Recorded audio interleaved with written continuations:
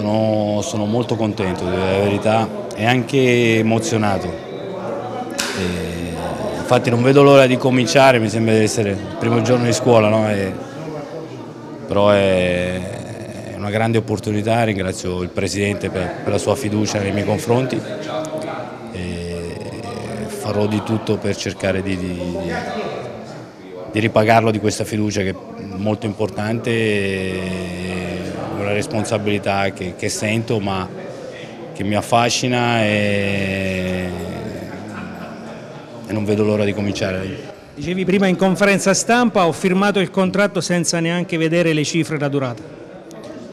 Sì, perché quando, quando scegli non è importante il discorso economico, ho scelto le persone, ho scelto la società, ho scelto la mia città e so che devo dimostrare tanto per meritarmi questa fiducia. In questo momento per Luca Leone quali sono le priorità?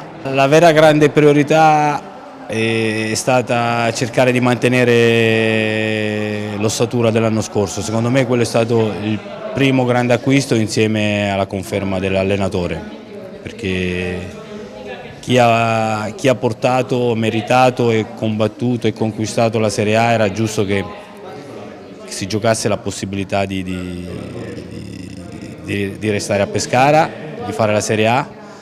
E secondo me il vero grande colpo sono loro, quindi è da loro che bisogna ripartire e poi dobbiamo cercare di, andare a colmare quelle che possono essere delle mancanze in questo momento per migliorare questa squadra che ha già un'ossatura abbastanza forte secondo Possiamo me. dire che un attaccante e un difensore sono gli obiettivi prossimi del Pescara?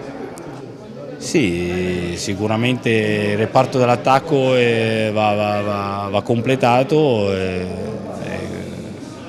e in difesa forse un tassello importante ci serve. C'è questo problema del deferimento, Luca, se così lo vogliamo um, eh, definire, ci potrebbe essere il rischio di una uh, mini um, squalifica giuro che non ho ammazzato nessuno.